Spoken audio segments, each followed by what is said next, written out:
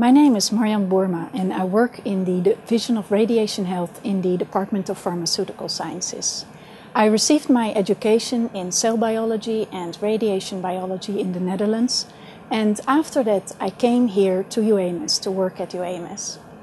As a faculty member, my main role is to do research and I also teach in the pharmacy curriculum and in the graduate school.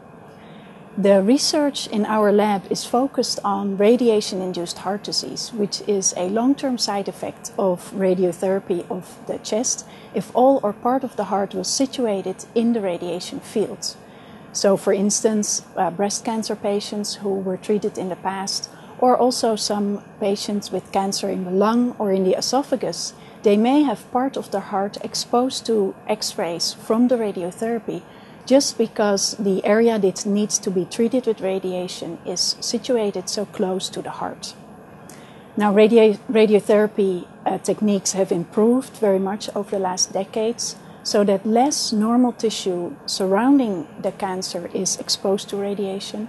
However, in many cases of radiotherapy of the chest, the heart is still, at least in part, exposed, leading to radiation induced heart disease. And the symptoms of radiation induced heart disease include both changes in the vasculature, uh, mainly atherosclerosis, but also injury in the cardiac muscle itself. And these symptoms, they mostly start to show 10 to 15 years after therapy, so that's a fairly long time. But because uh, more and more cancer patients are cured from their cancer and therefore live for a long time after their therapy, the long term side effects of therapy receive more and more attention because they hamper the quality of life of these long term cancer survivors. Now, there currently is no method to prevent radiation induced heart disease from happening or to reverse it once it occurs. And we also know very little about the biological changes that happen in the heart after it has been exposed to radiation. And so our lab tries to identify biological mechanisms of radiation induced heart disease. And for this purpose, we use basic research models. And one important aspect in these models is that we would like to measure cardiac function after irradiation. And one of the techniques that we use here is high resolution ultrasound or echocardiography.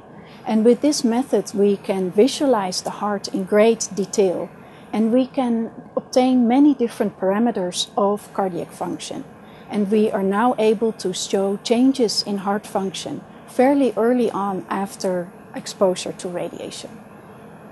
And these functional measurements, we combine them with, amongst others, histopathology and also with molecular analysis. For instance, we look into the expression of certain genes and proteins and all of this, uh, we do this to determine which pathways are involved in radiation induced heart disease.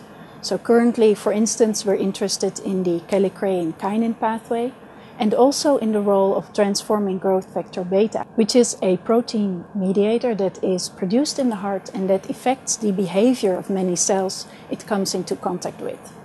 And we're also interested in the role of particular cell types, such as endothelial cells and mast cells.